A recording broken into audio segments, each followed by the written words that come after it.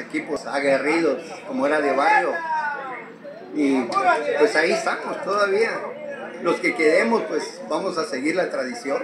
Aunque fue un partido amistoso del recuerdo donde los azules impusieron 5 goles por 2 a los amarillos, el resultado fue lo menos significativo, sino lo emotivo es que volvieron a reencontrarse en una cancha, aunque ya no es el mismo como en aquellos años de gloria, tras ganar títulos de la Liga y Copa como equipo afiliado a la Liga Municipal de Fútbol de Tuxtla Gutiérrez. Sí, estaba, por ejemplo, San Roque, Santa Fe, Municipal, de los, de los que hicieron historia. Sí. Pues qué bueno que se reúnen otra vez.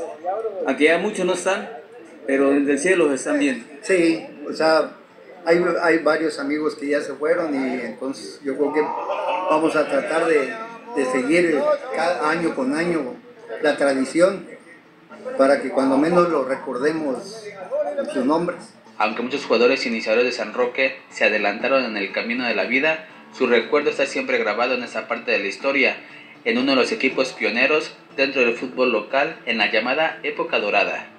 Con información de Juan Jesús Toledo, Noti 13. Muchas felicidades.